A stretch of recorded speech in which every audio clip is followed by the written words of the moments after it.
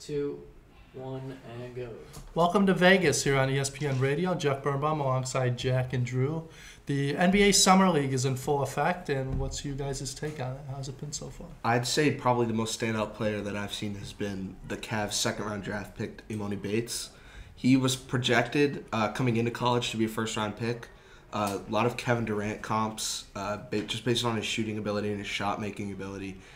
But he fell uh, pretty far. He trans- he ended up transferring to Eastern Michigan at, at one point, and so he fell to the 49th pick. And he's just been lighting it up for the Cavs, and he might end up being their answer this season at the three spot that was so weak and part of the main reason why they got knocked out in the first round to uh, objectively a weaker Knicks team. hmm I agree, but a player that not many people understand, he's been actually playing a lot better as of recent. His first game, Brandon Miller had committed around not seven-ish fouls. He had And- six within like the first half. Yeah, and after that, he put on in the second half of that game, he went on to score 18 points, and then in the other games, the most recent game actually, he had 26 points, six rebounds, and two assists, and I think he's pro- he's trying to prove that he can be better than Scoot Henderson. and The Charlotte Hornets took the right pick. What about Victor Wembanyama? 27 points in his second Summer League game. He's done for the entire tournament. What do we see from Uh, him? there's no reason to keep him going. I think he'll be okay. He just needed a sec. He just needed to adjust to the to the differences between the game. The French, uh, the French league is pl- the the way they pl- the teams play is so different from the NBA. The NBA is such a different animal when it comes to running an offensive set and stuff like that. And he also is facing off against more physical, or I mean, not more physical in terms of how they play, but just bigger, stronger, faster players. So we needed a couple a couple games to adjust to that. But there's really no reason to risk an injury to what people are saying is the the greatest prospect since LeBron. Mm, I would agree, yeah, because I mean, for a guy like Wembanyama, his height and his length, uh, there's no after what the game, the second game you just had, there was no reason for him to keep playing. I mean, summer league doesn't really matter. I think it's really all about what happens in the regular season, and if they don't want to let him, if they don't want him to get injured in summer league, I would say it's it was a smart decision to let him rest the rest of the summer. Did we see a glimpse of what's to come in San Antonio? I think we did in that second game.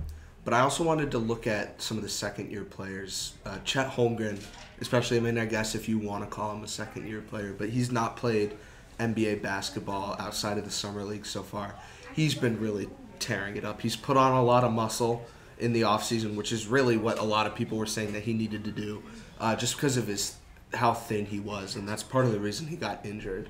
Um, but I think that Chet is really gonna pair well with uh, Jalen Williams in Oklahoma City, who's bulked up over the offseason too, and they're gonna be a really dominant front court duo uh, with Shai feeding them the ball. Another second year player that not many people want to talk about is Dalen Terry for the Chicago Bulls. He didn't play that much last season, but he's been lighting it up in summer league this year, having one of the best three three point percentages in, this, in the entire summer league. And the Bulls are two and one in the summer league, and Dalen Terry is a big part of it. And Oklahoma City Western Conference play-in last year. Do they make the playoffs with a healthy? Chet? hundred percent. I think they do, yeah. Yeah, I think they're probably looking at. I mean, obviously the West, like top to bottom, is really tight at this point. I think even the Spurs, who a lot of people consider the worst team um, in the league by like a wide margin, are. I mean, now with Wembanyama, and then they've got uh, Keldon Johnson, and they, they've got a really good young core. They're in the running if, if everything falls into place. I know we got a question. Uh, hi. Uh, so we've seen Keegan Murray and Jabari Smith Jr. just absolutely go crazy in the summer league. Do you guys think that they deserve to be in there, or you think they should just be respected as like one of the players just on the team? I think even though both uh, Keegan, Keegan Murray especially, he started games for the play for her playoff team, the three seed in the West. He started playoff games for them, so he's obviously a respected player in the organization. He's a very good player, but his role in that team was more of a spot up shooter. He sat in the corner a lot. He did hit a lot of threes and he was very good, but they see more from him, and I think it's more of a sign of respect that they're willing to let him play in the summer league and develop his skill set. And as for Jabari Smith Jr., I think the Rockets really just need more development in their players. They're trying to get rid of that AAU style just like one player with the rock the whole possession kind of basketball. And there's still parts of his game he needs to improve on. So I think it's a good thing that they're both playing.